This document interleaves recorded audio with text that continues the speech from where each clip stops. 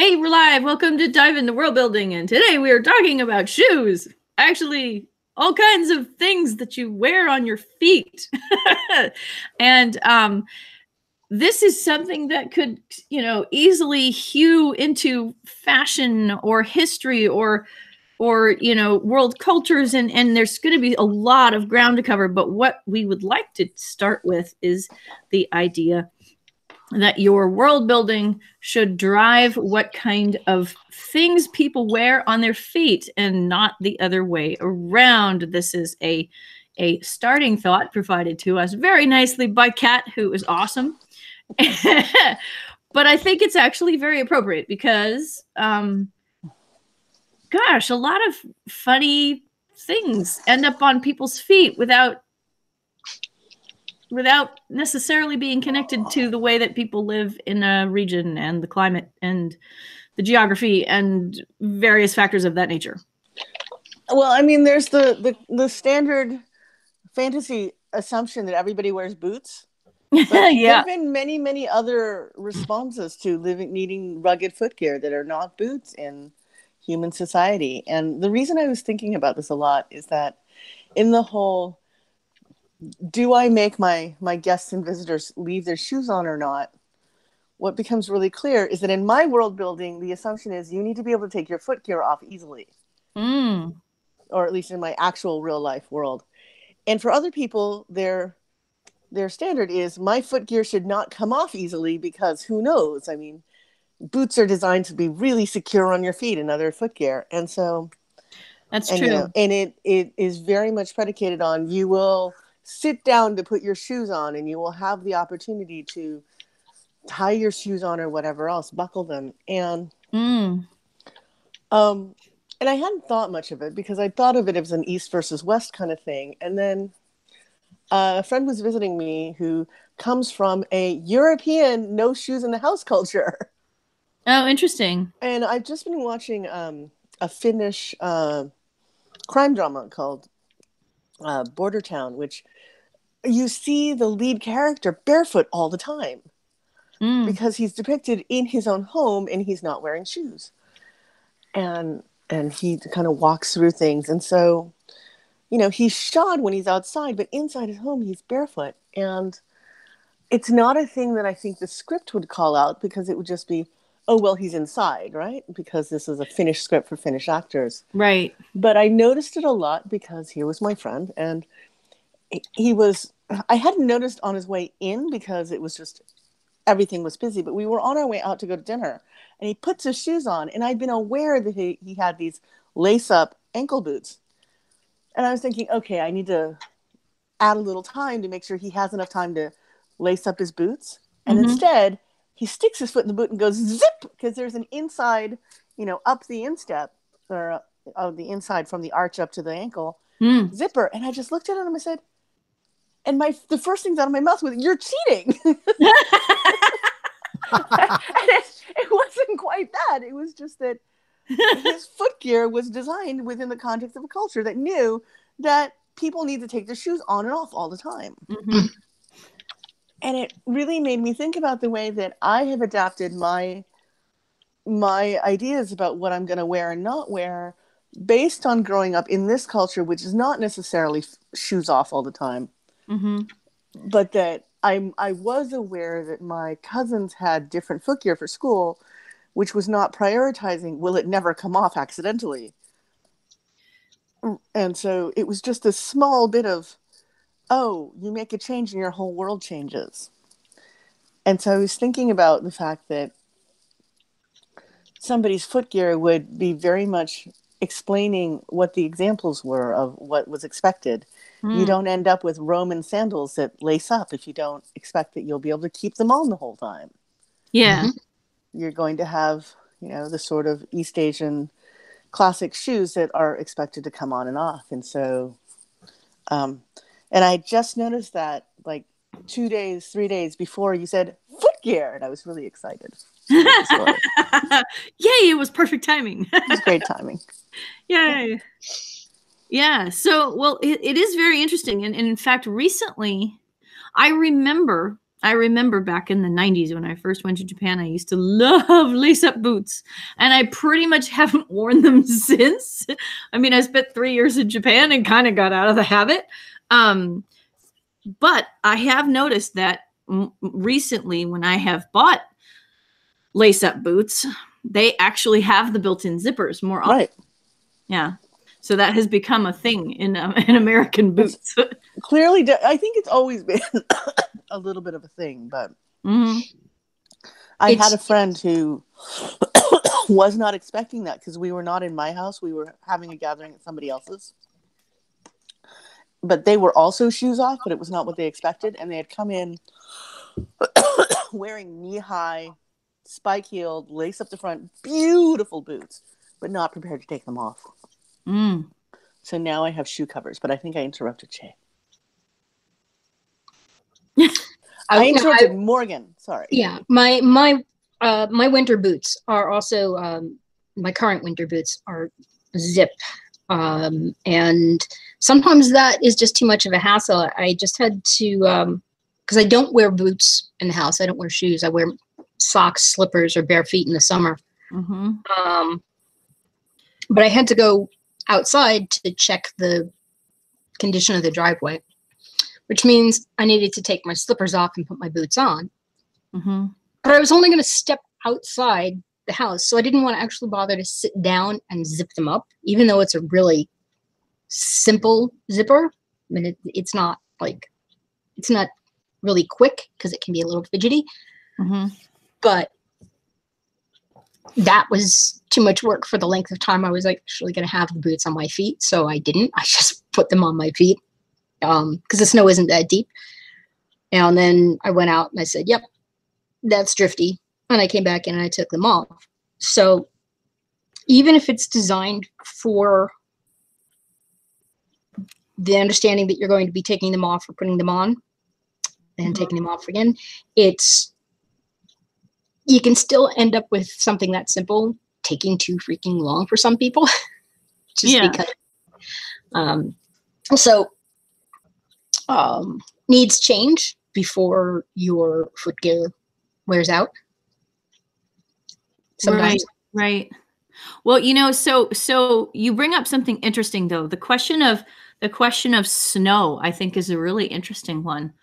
Um, because one of the things that I've always noticed whenever I we've gone up to the snow or have gone skiing is that you have those um the the the stairs that have holes in them um going up to like ski lodges and stuff so that as you climb the stairs and clomp your way up there in in the boots the snow is actually being knocked off of the boots now this could be a characteristic of ski lodges in california i don't know but then you have but then you also have the the thing next to the door where there's kind of a metal grate that you're supposed to knock your shoes off on and it's got like either a hole under it or or at least a sort of a dish under it that um that is there specifically to let the snow fall off and and and uh not come into the house with you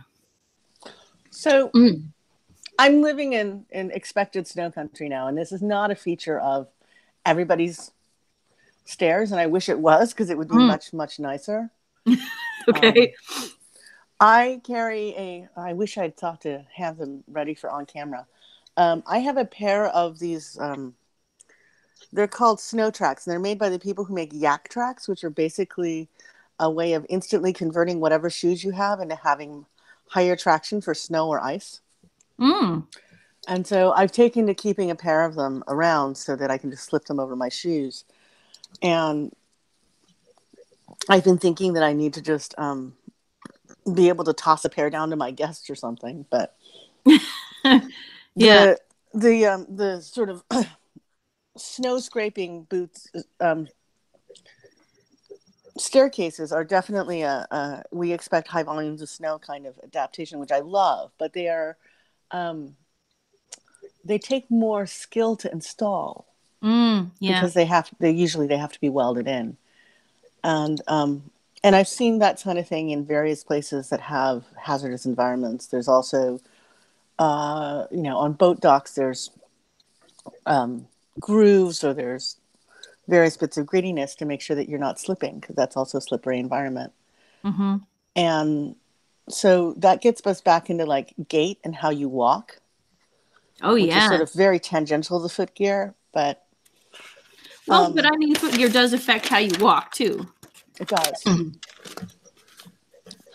So we could segue from there into sort of that um, Venetian courtesan or also Japanese courtesan um, thing of the very, very high chopines and the very, very high geta that are.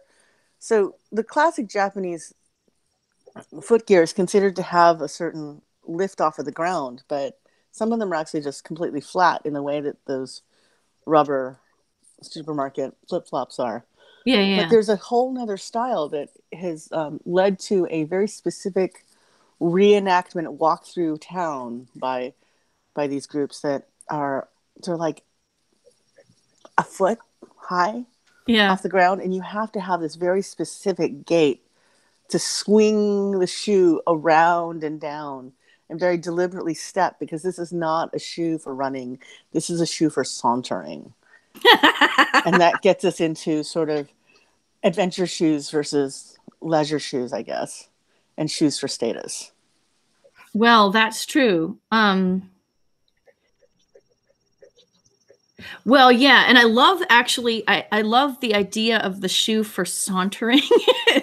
um so I just gotta say, Yeah. um, purposeful footwear.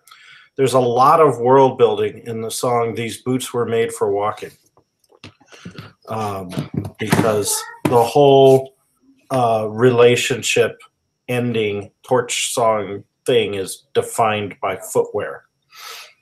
You know, central to it. It's a great little three minute world building um, but uh, another, I mean, when we're talking fantasy world building, the most obvious footwear is the lack of footwear on hobbits, yes. right? And when you go to some place like Bree, where the hobbits and the humans are together, and the humans have footwear and the hobbits don't have footwear, um, that becomes a thing.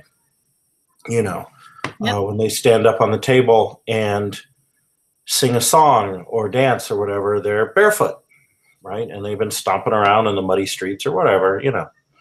Um, so that's something. And, you know, Tolkien, of course, experienced uh, the trenches in World War One, in which footwear was both protective and dangerous. And you could, you know, get trench foot and Yeah. get gangrene. And that's in part because your feet would swell up in your boots and you would be unable to take your boots off. And Mm. you know, because the water level in the trench at sometimes when it rained, it would just be like flooded and you've got nowhere to go. I mean, you can Yeah. climb out of the trench, but then you get shot. and so you didn't, right? You know, um, so a lot of people lost their feet uh, as a result of their footwear interacting with the environment. Um, other uh, footwear other than like well skis and we've talked about snowshoes you know depending Well, on we haven't actually talked about snowshoes. right well I, I was just bringing it up uh, so snowshoes are are a thing that can work right and they can be made out of different materials that can tell you about the culture that made them uh-huh. um, and then of course there's status shoes right there's you know high heels were originally male footwear and then you know in royal court and then Mhm. women took them on and then men got rid of them and now it's a, a you know a woman thing except for the 1970s mysteriously um, when you know it could be And the goth scene, I suppose. Yeah, the goth scene. Well, the goth scene does a lot of play with gender. But speaking of the goth scene, you know, uh, knee, thigh high boots, right? Like dominatrix boots and, and stuff are very specialized, coated. You know, Mm. black leather boots are are are coated, um, Mm. and so uh, all of those talk about subcultures, right? Mhm. You know, as a as opposed to the general culture. Well, certainly not everybody should be wearing the same type of shoes, Sure. right? Well, because it te- because of the subculture factor, and because of the class factor, and because of the leisure class factor. Sure. right. Right. I I had a moment where I was much younger and I realized that I thought these lucite platform shoes were really cool looking. Um, these sandals, and then I realized it at some point before I had gotten them that uh, they were actually very marked as professional gear because they were the shoes of streetwalkers. Oh dear. And so um, I did avoid buying them because that was additional stress in my life that I didn't need. But Mm. um, the other things that are interesting, for instance, are that um, nurses, for instance, have specific footgear that used to be demanded and now things have loosened up. But there are entire brands that are designed for um, let's prioritize the needs of people who are on their feet all day long. Mhm. And I would love them, except that most of those brands don't fit my feet. And so for me, my world building is that my foot is not designed and to be the same shape as the people around me. I Mm. have and that- similar issues. My I've observed that going um, in various places where, um, for instance, the Netherlands have statistically much taller people than the rest of the world. Mm. And when Netherlanders go other places, or anybody tall, I know somebody who wears a size 14 shoe, and that means that he can't go casually ice skating or roller skating because they're not going to be available for him. Oh right. And so Hmm. footgear becomes this access issue, which is really fascinating. Yeah, interesting. Oh, yeah. That you you make you remind me of something, Kat. The whole idea that left and right shoes are not a are a somewhat r- recent invention. It used to be you just had straight shoes that your feet would basically over time bang into one shape or another. They were used to be both straight, but now we have specifically coded shoes for left and right feet. That wasn't always the case and doesn't have to be the case inside of a fantasy or science fiction world. Mm. Speaking of science fiction, I was thinking we, you you mentioned the hobbits before, Cliff. I was Yeah. thinking of the Dirdir in Jack Vance's novel. Oh. They don't wear shoes. They don't. I don't remember that. detail. I remember they had 18 genders. That's the de- detail. Yes, they have 17 genders and they don't wear shoes because they have these very clawed-like feet, which allow them to hunt Nice. better when they go hunting people. So shoes Sure. for them are are a bad thing. Sure. Um, Um, also- So um, that makes me think briefly of the um, if the shoe fits, wear it line from um, from that Star Trek movie where they had put the magnetic boots in the wrong locker. Right, had had the- she had the really weird- weird shaped feet, and he couldn't Yeah. have worn them if he wanted to. Yeah, yeah. that was awesome. That was a great moment right there. Yeah. Um, yeah, so I, I also want to talk a little bit about the ritual of footwear, even secular footwear. Like when I was a kid and I flew internationally with my parents for the first time, um, there was uh, the ritual of taking off our shoes on an airplane, which I had never encountered, and putting on these little foot covers over our socks that the airplane provided, or these Oh, kind yeah. of grippy s- paper slipper things. Um, and that was a thing, and everyone did it, and it was, you know, sort of like, yeah, you're you're you're in public space, so you can't just wear your socks, but your shoes might be uncomfortable for like a 12 hour flight. So we're going to give you these little things and encourage you to wear them. Uh, another ritual that I remember the first time I encountered as a child was bowling shoes, like going to the bowling alley. And it's this whole thing where you give them your shoes and they match the size. And they're always too narrow for my feet. So my feet hurt whenever I bowl, Well, which is part of the reason. this brings us back to the question of fitting shoes, and I think it's worth taking this on. So, so because not all footwear has all, has been standardized, right?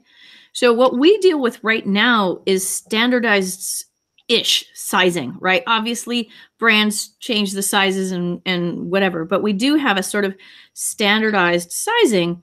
Um, and what it means is there are many people who just can't walk into a store and find a shoe that fits. And one of these people is my son. You know, we go into a store, we spend an hour trying on every shoe um, in his rough size, and then we walk out with nothing. um, until we found this one particular brand that has a high enough instep the instep being the sort of top of your foot um, uh, right above the arch, but like the top part of your foot, uh, that he can actually wear it. And so basically, what we do is we go into a store, we find the next size up of that exact same shoe. he tries it on. Yes, we're good, and off we go. But um, but it's very very difficult for him to find a shoe that's not of that particular brand Mhm. that he can actually put his foot into. On the other hand, you had all of these. Um, you know, at a certain point, if you were able to hire a cobbler, you could have shoes made to whatever your feet were like. So, but that was a, but that was obviously a custom made shoe question. So there, there was an episode of um, King of the Hill, which is an animated TV show, uh, all about the fact that the wife Peggy felt uncomfortable because she had large feet, and would sneakily drive to another town to buy shoes, file the numbers off of the shoe size, and come back to her own town and wear them. And her husband Hank. Uh, graciously pretended not to know she was doing this. Um, and it kind of came to a head. There was a moment where the Laotian neighbors, the the the uh, woman who was one of the couple in the Laotian neighbors, made fun of her for her feet because they were so big. Um, And that was, you know, which sort of fed into her uh, complex that she already had. So I thought that was really an interesting bit of world building because it was about the Texas culture that she had grown up in, the interaction with immigrants, and her own sort of neuroses that came out of This is King of the Hill. shoe shoe uh, shoe anxiety. What? Which show was this? Oh, this is King of the Hill. Okay. So, in the flip side of the Laotian thing, uh, Yeah. there is a whole thing about, in many cultures, about women and, and delicacy and small and feet. it's Yeah. cl- it's class and it's all sorts of things. But um, East Asian uh, women that I know, the those of us living in diaspora, have often been asked when we have um, either proportionately small feet or considered by those around us to be smaller than average feet.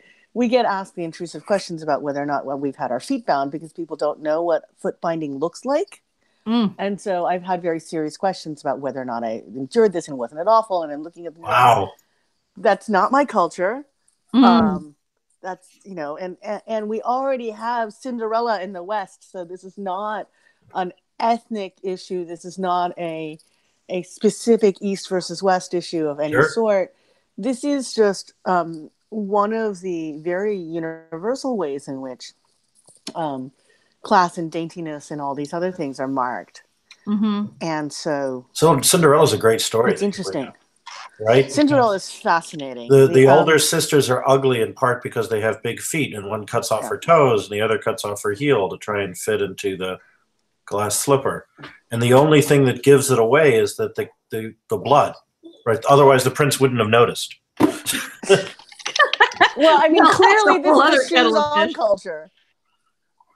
Yeah, Clearly, this is the shoes on culture because you couldn't try it otherwise. right. One and and the other is I find it really fascinating that the moral of Cinderella is is not, you know, being forced to fit into a particular mold is bad. It's all the prizes should only go to the one for whom certain very restrictive things fit. It, it's a it's a weird story. Yeah, And I- but there's I also really that wanna whole analyze thing. it for what it actually um, what it's actually teaching. But that's a, a side story. Oh, yeah, that's always. yeah, well, we could go that that would be a whole other. Cinderella has a lot of issues. Yeah. Yeah. I think it has all the issues. Yeah. Uh, there might be one or two issues that are actually not encoded in that story, but have to think about it.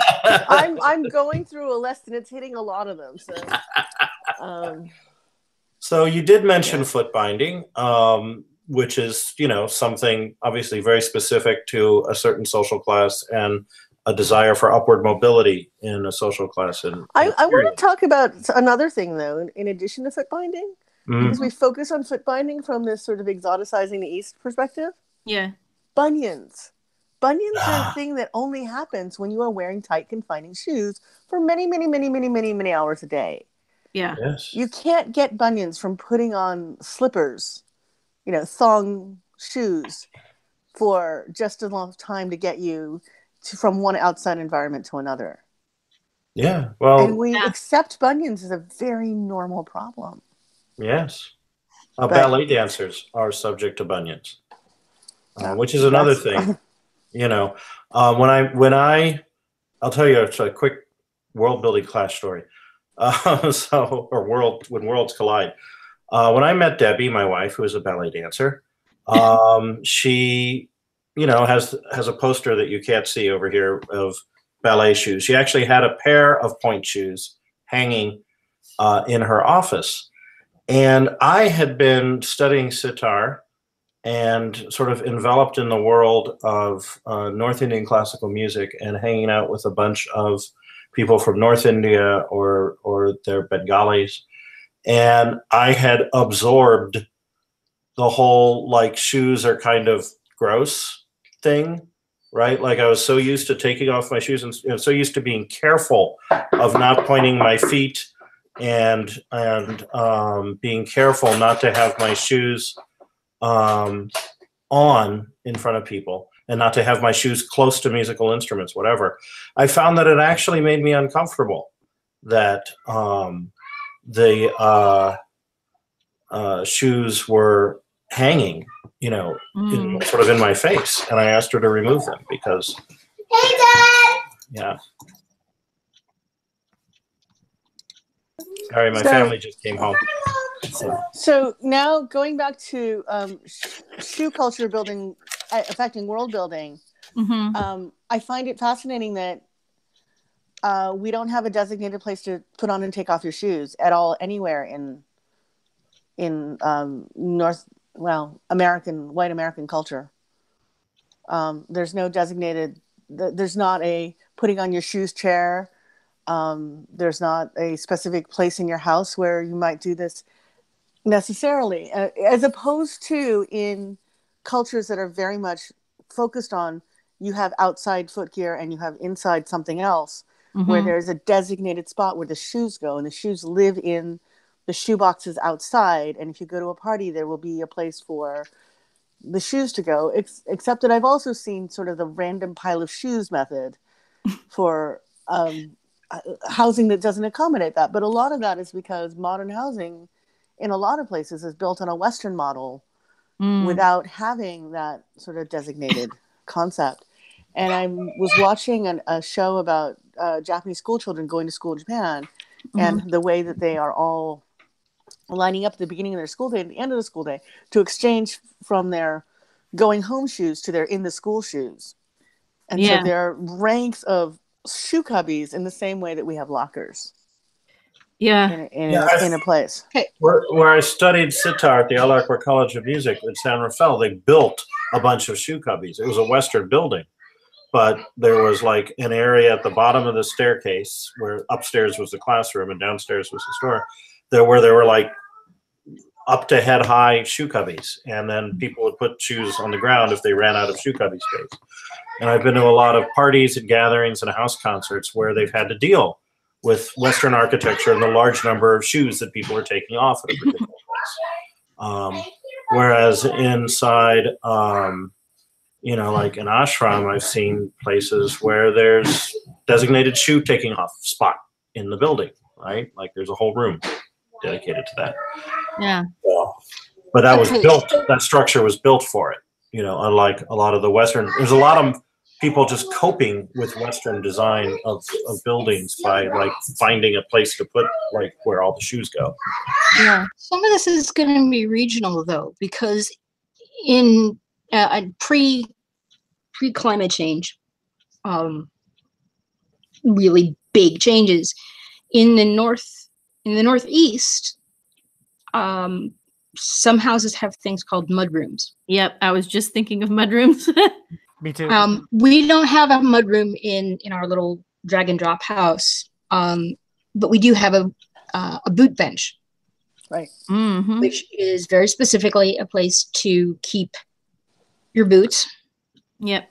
um, to take you know, and there's actually uh, an interior storage where you can put your gloves and your scarves and, and I know at least one home in in this area that has a mudroom. Actually, Yeah. I've been in Mudroomville here, and the mudrooms don't often have um, a place to sit, and they're it's just there's this anteroom where they're expected to chuck off the shoes, and yet they're they're not as conducive as I would expect. It's really odd to me.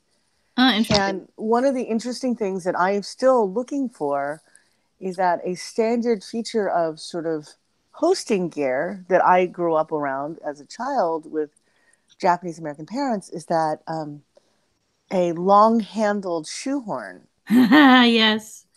so that you can be standing up and slide your foot into your slip on shoe, but get it your heel seated into that your shoe without crushing the back. And I my I think my children have never seen a shoehorn because it's really difficult to find one that is of reasonable quality in a culture where that's not the expected thing. And I'm not going to. Um, growing up, there had been a whole Japanese American part of town where I could go buy something like that, and here I'm not seeing it anywhere. So- I haven't seen a shoehorn since I was a kid. My folks used to have one. Um, my, I think my parents both used it. Um, I do mostly remember my dad using it to, to get his shoes on. And part of that is, is that your the shoes fit so closely that This- you need something that isn't your fingers. It's th- thinner Yes. than your fingers to make it. So to the thing I'm seeing is that um, the grooming kits for more um, high-end men's clothes often have, or, or for the Mhm. men who are needing that kind of thing, often have in their in their toiletries kit a you know six inch or four inch long personal uh, shoehorn with a little hook over, so you use your finger at the back to stabilize it. And what I want is a really long one on a on on the end of a shaft that um, the one my parents had when I was a kid had sort of a a flexible spring on them so that you could manipulate them from from further away without um, having to bend over. Hmm. But it's become specialist gear. yeah. I don't know if it ever was not specialist gear, but um, it's a thing that I've noticed because I've specifically been looking for it. And I need to figure out a place in my home where that would live. And I'm having all of these issues of is it outside my front door? Is it inside my front door? Where do I put this? And I'm noticing that moment of me having to realign with the expectations of the culture around me and again, I'm in a snowy place. You would think that the mudroom would be standard, but it's only standard in sort of single family dwellings of a certain, et cetera. Mm. And and how the mudroom then becomes this odd status symbol, as opposed to if you're in a culture that expects the shoes to come off um, differently, not just seasonally. Um, Yeah. You can't sell a house in East Asia that doesn't have a designated entryway that separates the outside from the inside and has a level difference between the inside and the outside and that's that's a whole like little world building thing hmm So another thing I've, you made me think of about shoe care is when I was growing up as a child in the East Coast, there were a lot more shoe shine stations Mm, yeah. because men's shoes were you men wore suits to work and they had to have their shoes shined or they would look down on by their their culture, their business culture, and uh, even socially, if you were going out, you had to wear shoes that were shined by shoe shine. And so there's you still see them in airports, but I don't see them anywhere else. Really, they used to be on corners, like on streets, hmm and it was always, you know, it was a it was an element of the world who was doing the shoe shining and what ethnic background they came Yeah. from, you know. And in the South, it was always African Americans, but in other places, it was recent immigrants or, or whatever. Um, but never, you know, high status ethnic background for that for that particular career path. Um, especially if the shoe shine person was older. so Yeah. I, it used to be an occupation for young boys, as I recall. Yeah. Um, in at least in Dickensian novels and things. Um, I've also seen them in um, old-fashioned barbershops, and I have seen them in uh, city centers of su- sufficient density and old-fashionedness. Mm-hmm. So I don't remember seeing one in LA anytime, but I see I have a vague recollection that you can find them in the Loop in Chicago. I, Yeah. um, as a child, uh, you know, I was seeing more adults than, than children doing that job. Yeah. The children sort of faded out. I think it was probably- child labor laws. Yeah, that. exactly, exactly. Yeah. But uh, so it was all adults, and it was all men, right? Like it is Yes. a very gendered occupation. It was by men for men, and I found that interesting because women's shoes also need care, but um, you can't go to the shoe sign station if you're wearing women's footgear. yeah. No, no, you get stared at. Also, as a woman wearing a male-coated shoe, depending upon uh, the person doing the shoe shining, there would sometimes be a bit of of pushback in the same way that women who want to uh, people who are coded as women who are but who are marrying traditionally masculine hairstyles may or may not get served if they go to a um, a barbershop and trying to get a, a that sort of hairstyle. So Mm. the genderedness of shoes is really interesting because there are cultures where they're very gendered and there are cultures where they're not.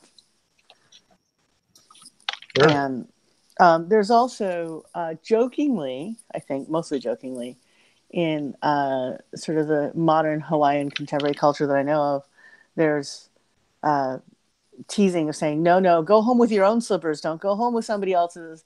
Don't come shopping at the party for an upgrade. It's, it's the kind of line that trash talking comedians say. So I, I, I am not going to assume it's standard, but just the possibility of doing that is hilarious, right? Sure. Because it's not a thing that you're probably going to do in a culture of close fitting shoes that that work well. But that brings me to a segue of when I was living in northern Florida, everybody would have their everyday uh, flip flops, and then they'd have their dress flip flops, which were often like leather, and they'd have molded footbeds. And Where where was this in Florida? in Florida, it's it's not just the part of Florida I was in. It's Sure. Carl Hiaasen talks about this, where you know, closed toe footgear is like for church or something if you go, and and then they there would be your everyday flip flops, and then there'd be your dress flip flops, and your dress flip flops were going to some fancy party. Well, Uh, certainly in California, if also wearing- affect how you can walk too. sure. I But- think I think I I I just want to mention this again, but but climate and road quality are directly related to foot gear, um, which is in turn directly related to the way people walk with said foot gear on. And that's an interesting connection because depending on where you're going, what class you're a, a member of, what kind of foot gear is available to you, you will become associated with a particular way of walking as well.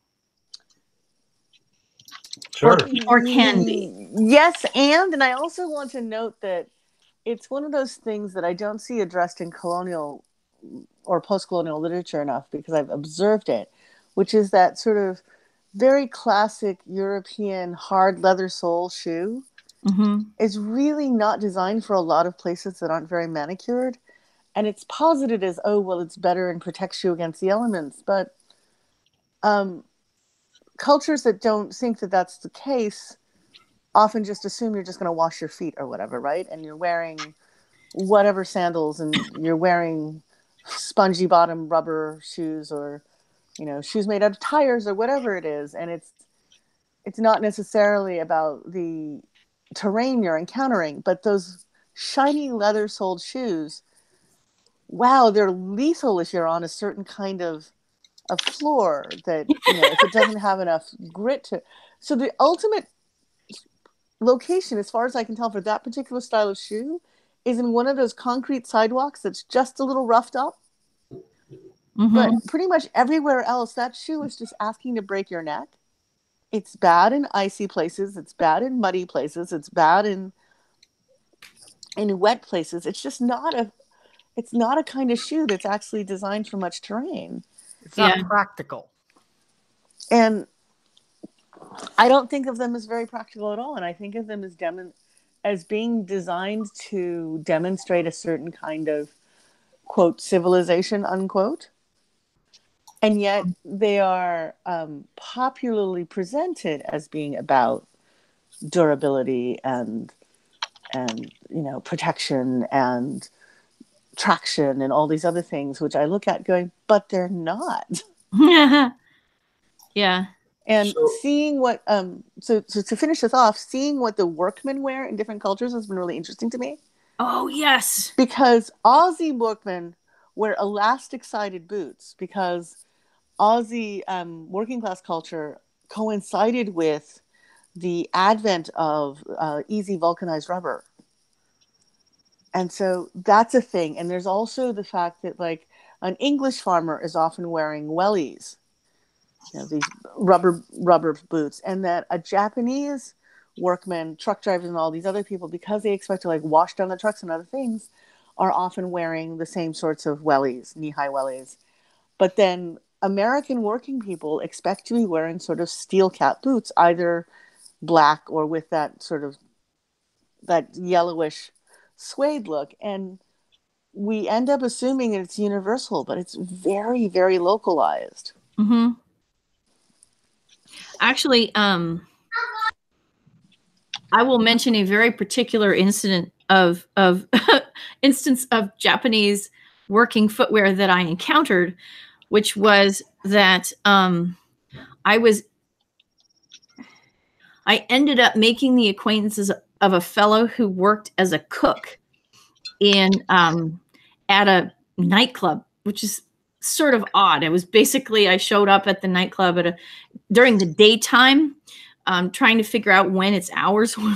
ended up having this conversation with this guy, um, and then he ended up inviting me to come and visit a restaurant where he worked.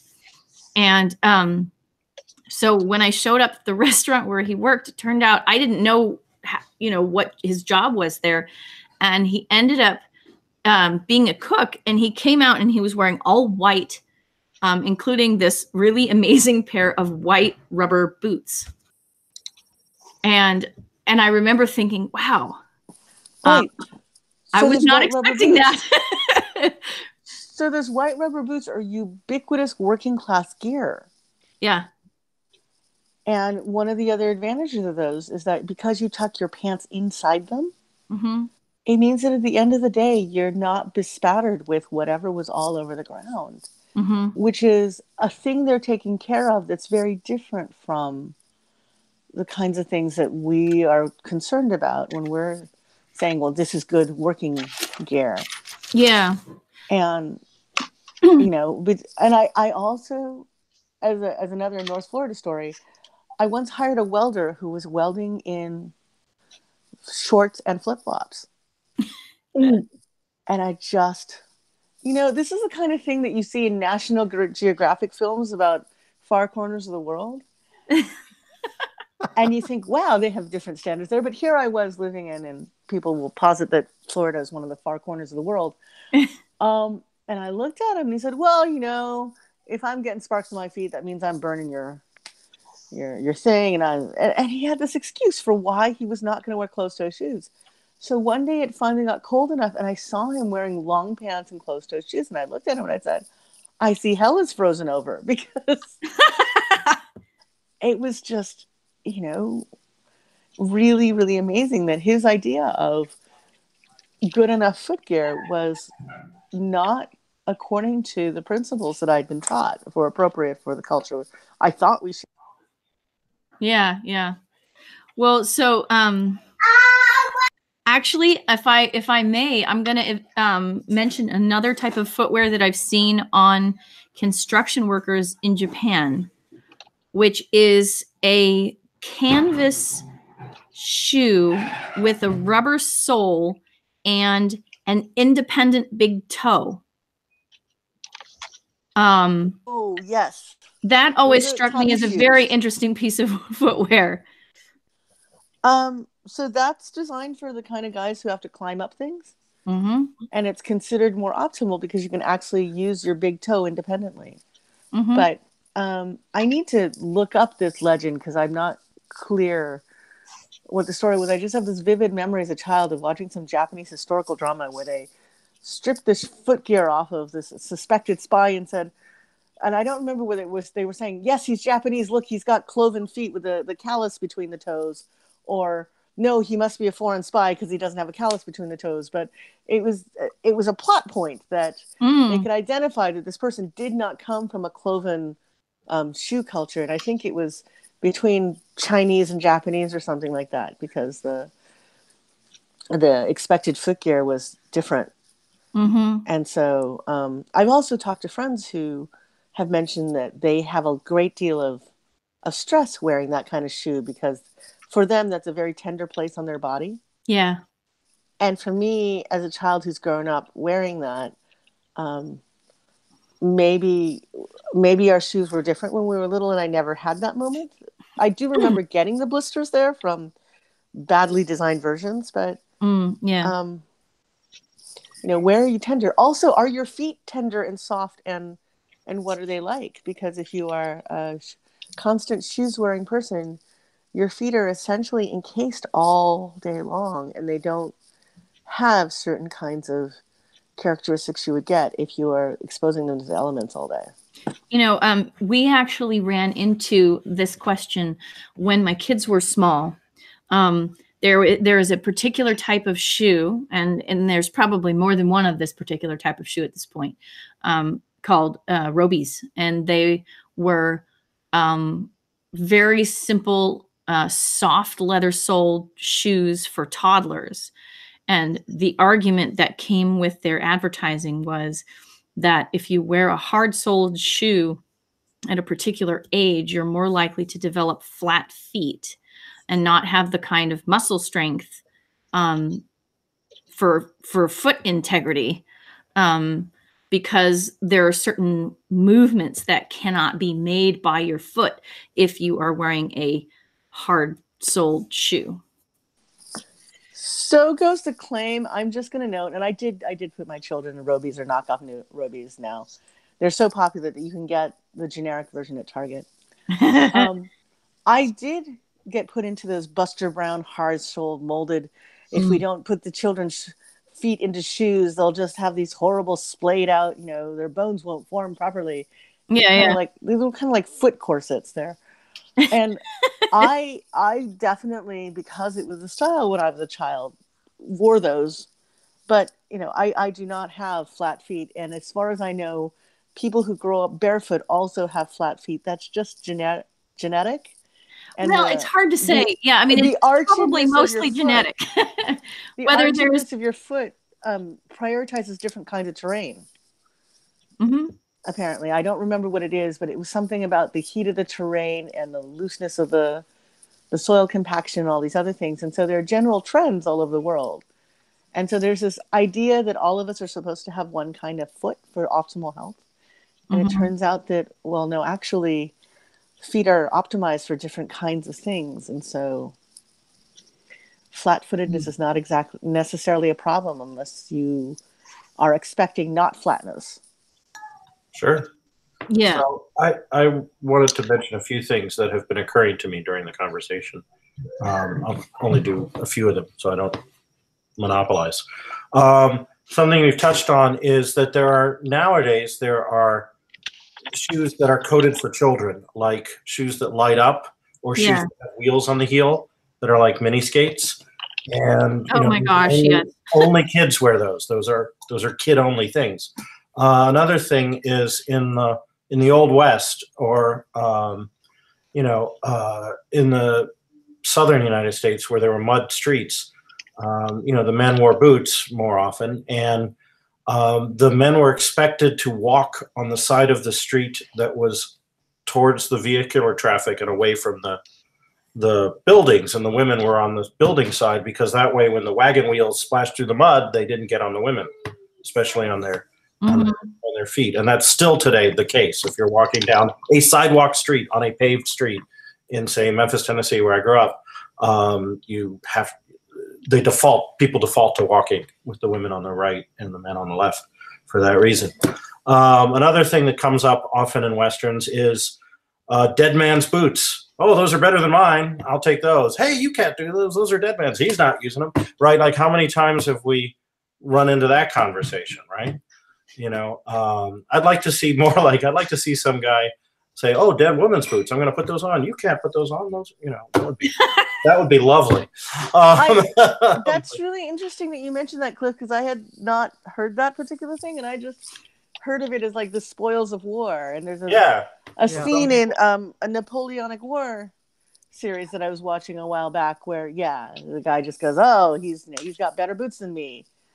Right yeah well So- people used to be more pragmatic and, late, and then now they're a little more um, uh, sort of squeaked by it some people. So you know um, i think it's a marker of, of the world building. Um, but uh, just a couple other things. Uh, sometimes there's ritual footwear that is ritually not allowed. Like on, on the jewish holiday of yom kippur uh, the holiest day in the calendar year you're not supposed to do a bunch of things that codify social status. It's a it's a liminal space, so you're flattening the social structure. One of the five things that is forbidden explicitly on Yom Kippur is leather sandals, because thousands of years ago they were a signifier of wealth, and so because nothing ever changes, they are still. Um, so no leather sandals on Yom Kippur, and people don't wear leather shoes. So you see people, especially on the East Coast, where people wear suits and ties uh, to services, they wear sneakers with suits and ties, Ah. uh, which would have been forbidden in my school's dress code in Memphis. Like sneakers were not allowed by dress code. You had to certain kinds of shoes, and then even within the allowed footwear, there was an even narrower range of shoes you could actually wear because of social pressure from the other students right. of what was in and what was not in. Um, and then the other, oh, uh, side issue. I'm running through my list real quick here. The side issue is uh, if you're trying on somebody else's shoes, dead person's Mm. shoes or whatever, they might not fit. They might be too big. They might be too small. How do you deal with that? Mhm. Uh, one lovely series uh, by Lawrence Watt Evans, uh, the Garth of Ordunin books, uh, or the Lords of Dûs, depending on which title you like. The, the lead guy, Garth, always had some problem with his footwear in every one of the four books. And it was a different problem every time. And his boots would get ruined or, or whatever. Water would get in them. His feet were always uncomfortable. It was a thing that made that protagonist, who was a literal non human, he was a, a different species, um, more human to the reader, right? Because you could relate to, to uncomfortable feet. Um, so, and then finally, um, I do have one story I could tell if there's time, but the final thing I wanted to make wa- uh, point was specialized, uh, specialized boots like motorcycle boots are designed to be worn on a motorcycle, uh, not just to protect your feet if you wipe out, but the heat of the motorcycle itself is not transmitted through the boots Mm. that your, your your your calves are next to. Uh, firefighter boots. I have a cousin who's a firefighter, and they have these specialized boots that are just these huge honking things that fit over um, your your your feet. And then there are, um, and then if you have a spacefaring society, what kind of footwear do they have underneath their spacesuit boots when they take off their environmental suit or their space suit? What's on their feet? Are there shoes in there? Mm. Are there socks? Uh, are there's there's something else that they're wearing? Um, you know, might say something, might have more to do with the culture that is spacefaring than actual practicality. Yeah. Um, so you know, is a cosmonauts under under boot space boot the same as a astronaut, the same as a Chinese astronaut? You know, Yeah, that is an interesting question. I also wanted to pick up Morgan's um, uh, issue here. Scenes where someone is wearing inappropriate footwear out of vanity rather than poverty. Tell us about that, Morgan.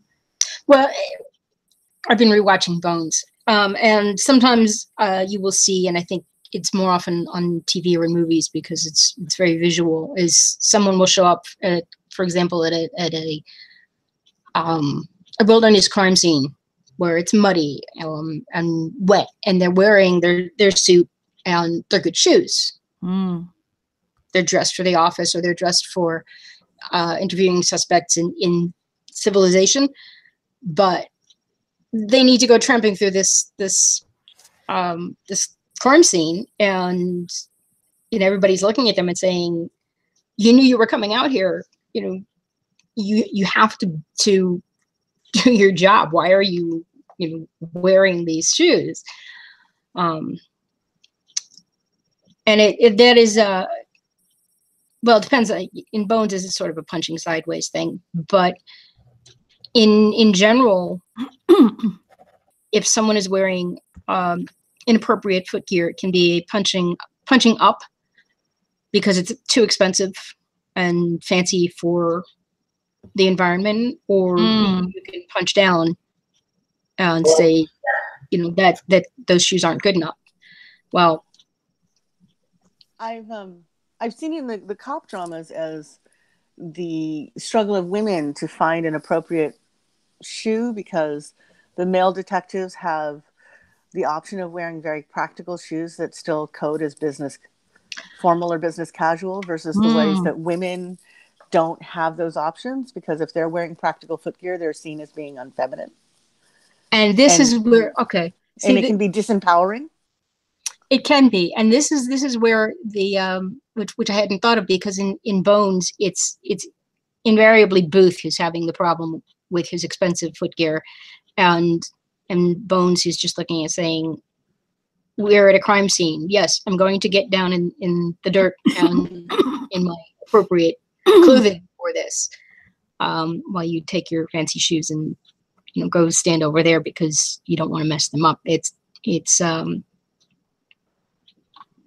it's it's the other way than than than uh, is coded and and the whole idea that women that that a need for for a lot of shoes is gender Mm. hard coded in your gender is as idiotic as hard coded gender Here, here.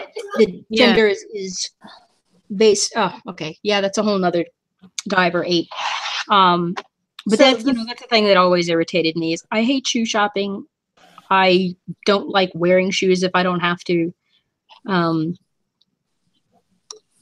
but you know that it's the the stereotypes that go not with ju- uh, not just with class but with um with Yeah. gender that you, you also need to take into account when you're doing your your world building Yeah.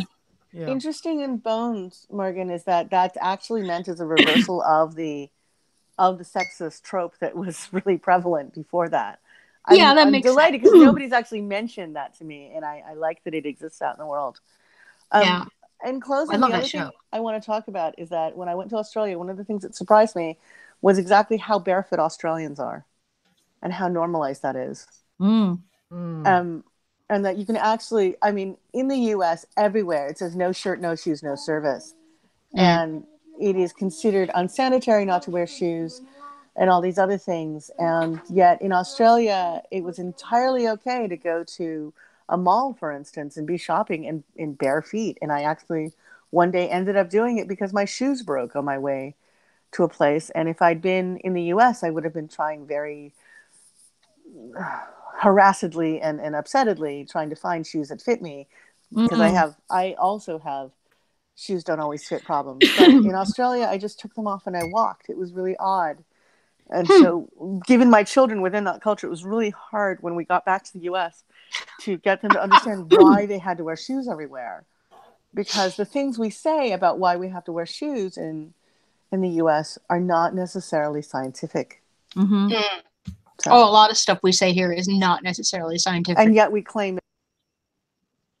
W- One last thing I want to mention that we didn't even talk about is the idea of different names for the same kind of shoe. I didn't realize until I was about 20 that not everybody called sneakers sneakers. Mhm. Like, why well, it's like tennis shoes. Like, what the heck are tennis shoes? They're sneakers. Yeah. Or trainers in the UK. Yeah, it's it's, it's it's just like different names for the exact same thing. I didn't realize that was a thing growing up, but it is. It's a Some thing for soda, cola, and cokes too. Well, and that's Yeah. often that's often regional. Yeah. but also uh, tennis shoes uh when i we um were kids, when I was a kid, there were sneakers. You entered the store and there were sneakers, and all of the sneakers looked pretty much the same, unless I guess there may have been cartoon characters on some of them. Now you go to the store and you say, I want a pair of sneakers, and they look at you like you you should keep going because you need to explain what you're doing with them. There's there there are no sneakers. There are athletic shoes and there are training shoes and there are are Well, yeah, we've got this. Well, you you can get you can get the sneakers that we all of us because of our age grew up with. They're just specifically branded to whatever they were back then. So you can get Keds and you can get Mhm. Vans and you can get Converse that look very much like what people grew up with in the 60s and 70s. But Mhm. they're nostalgia throwback shoes which are not performance gear and you don't necessarily go to an athletic foot store for them. Yeah, yeah, yeah. So um, yeah have a lot of shoe, a lot of shoe stores around here, and I don't know if any of them actually sell Keds. But I haven't looked because I hate shopping for shoes. I'm going to have to, um, because Uh, the last time I stepped foot in a mall, it was specifically because I needed to go buy shoes. And uh, for some reason, that is one of the last things that are clustered in mall stores. Well, and you know the other thing that I'm going to mention, and I we you know we're done, but we're so like going over, and we're still on still on there. But, hey, this is a big topic. Clearly, is it there are these very specific brands that are associated with very specific style, and it's not just Keds and Converse and like retro style shoes, but it's also things like um the big clumpy boots. What are they called? Oh shoot. Doc Martens. Doc Doc Martens. Martens. There we go. There we go. I can talk about branded shoes all day if you want to. yeah, yeah. So I think, I mean, yeah. um, but I think we need to wrap this up. So Okay. thank you all for being here. Um, next week we're going to have a guest. Uh, Heidi Stauffer is going to be on the show to talk about her PhD specialty, which is um, geology. Oh, I hope I can make it. I think I might be doing a work event next Tuesday, Wednesday, Thursday. So that might Oh. kill me. That might kill me. Dang it. Well, Well, I'm luck, sorry. Well, Well, this they- would be really, Really? amazing um, because she's just she's just really, really amazing and knows like a heck ton about geology, and this is gonna be really Uh, cool. Dang it. Nabbit. Well, we'll see. We'll, see- we'll see. I have to look to see the actual sales meeting schedule and when they have to be where. And Well, you know what? See, Yeah. see what you can do, Paul. um, anyway, I'm really looking forward to it. Uh, I will look forward to seeing you next week, and I'm going to stop the broadcast.